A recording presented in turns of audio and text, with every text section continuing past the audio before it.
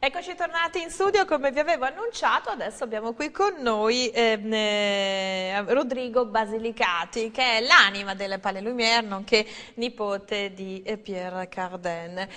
Insomma c'è tempo fino al 30 giugno qui perché questa opera possa essere realizzata e ci sono sempre nuovi bastoni fra le ruote, leggevo anche oggi alcuni giornali, adesso la, la, la valutazione di impatto ambientale, iniziate a perdere fiducia in questo progetto? Ma mm, quest'ultimo punto non, credo sia un, un, problema, nel senso che eh, è stato valutato che non, bisogno, non c'è più bisogno di, v, di VAS, cioè di valutazione ambientale, strate, ambientale strategica, ma di quella di impatto ambientale, e che però prevede normalmente, che io sappia, insomma, prevede eh, un progetto più avanzato dello stato in cui adesso è e che comunque è avanzato, è un preliminare avanzato, deve essere proprio definitivo e, e, quindi sarà un passaggio che avverrà più avanti, ma noi abbiamo già fatto uno screening in questo senso, quindi già è stato fatto un, un pre-studio per la via, quindi siamo avanti, quindi presumo che se si, si sfruttano i tempi dell'iter e si fa in velocità, eh, quando, quando, quando, sarà arriverà in breve la risposta. Quando si tratta del Palais Lumière, adesso magari la regia può anche farci vedere alcune immagini, eh, sicuramente è un'opera per quanto possa essere alta, possa essere comunque anche un'opera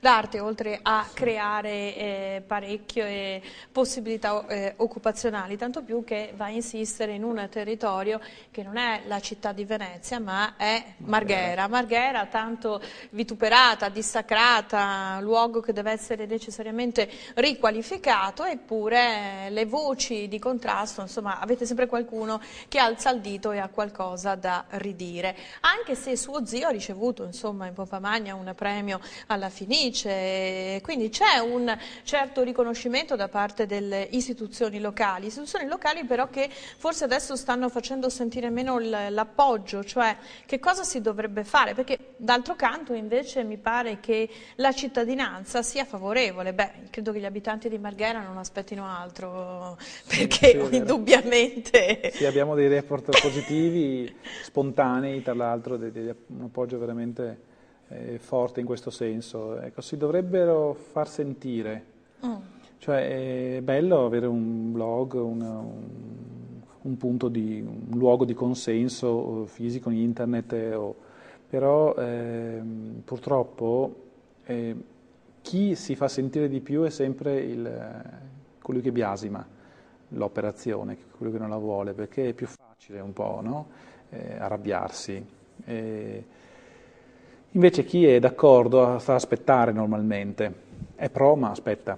Senta, proprio per eh, così animare sia il fronte del no che il fronte del sì, perché insomma noi dobbiamo essere sì. super partes, eh, vogliamo ricordare quali sono i numeri pratici, concreti, no? perché anche eh, ieri sono stati dati dei dati sull'occupazione in Veneto sì. abbastanza allarmanti, quindi questa occasione no, di, di, di, fare, dare lavoro, ce la può riassumere, insomma sì, ricordiamo. Beh, noi, noi abbiamo ripetuto più volte ed è credo sulla base di questo che le istituzioni appoggiano super partes, cioè mm, che siano di qua o di là, tutte hanno appoggiato e capiscono.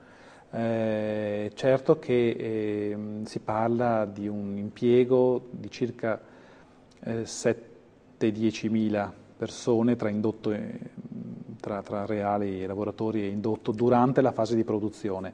La costruzione di quest'opera Mm, è vero che vorrebbe essere inaugurata nel maggio 2015, ma no, ormai dati i tempi non, più eh, non sarà completata in quell'anno. Ma si perderà l'occasione dell'Expo 2015? No, no, no, ci ah. sarà l'inaugurazione, ma l'opera sarà solo eh, tutto l'involucro e tutte le parti sociali, diciamo comuni, che, che, quelle che funzionano con il pubblico, il parco, eh, il teatro, il grande teatro, il cinema, le, le parti commerciali che sono a terra, e magari le, le vedere perché ha un significato.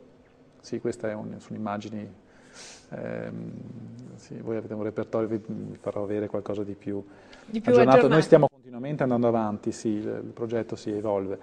E, ehm, e niente, questo, questo, numero di lavoratori continuerà fino alla fine della produzione anche degli interni, di, di, di, di tutta la parte eh, non solo grezza ma finita interna e quindi si arriverà fino al 2017 di fatto, 16 in completo. Un miliardo e 400 milioni di euro l'investimento mm, globale? Quasi 1,5, 1,4,5, eh, compreso tutto, insomma, eh, non gli oneri, non le tasse, non, non l'IVA perché c'è da aggiungere anche quella. Sì? Eh, al netto diciamo. Diciamo al netto, ecco. Eh, però è un importo che mm, è ai limiti anche de, della nostra, del nostro studio finanziario noi tra l'altro lo stiamo completando, nonostante tutto l'incertezza di fatto che, che, che permane, noi stiamo procedendo perché sarebbe troppo tardi proporre la cosa in definitiva con il piano alle banche tra un mese, due mesi. Quindi voi state già dialogando con le noi banche? Noi stiamo già dialogando, sì, perché i tempi sono quelli. Noi a fine, marzo, a fine giugno siamo obbligati a dare una risposta mh, definitiva anche a noi stessi. Che poi le banche credono in voi, no? che di questi sì, tempi le banche sono, sono no, piuttosto restie. Le grosse no? banche sono una, allucinati da questo una... progetto che intravedono e vedono, insomma, conoscono grandi uh-huh. banche, conoscono progetti simili nel mondo e hanno detto anche loro non abbiamo mai visto cose di questo sono tipo. Non per, tipo portata, eh, non per, la portata, di investimento, uh-huh. sì, per, per l'Europa è una delle più importanti in questo momento, ma nel mondo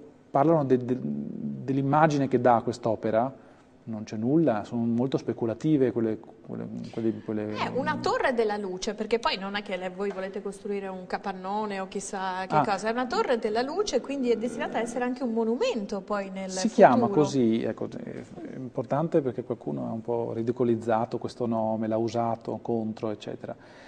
Non è che sarà una torre che illumina Venezia. No, assolutamente anzi l'impatto luminoso è del 20% di una normale torre, perché usiamo tecnologie a basso a LED naturalmente, e se c'è qualcosa di meglio lo useremo, eh, che risparmia enormemente energia e ha un impatto esteriore minimo. No, io intendevo una luce della no, no, mente, una luce preciso, della... Lo, infatti, chiunque...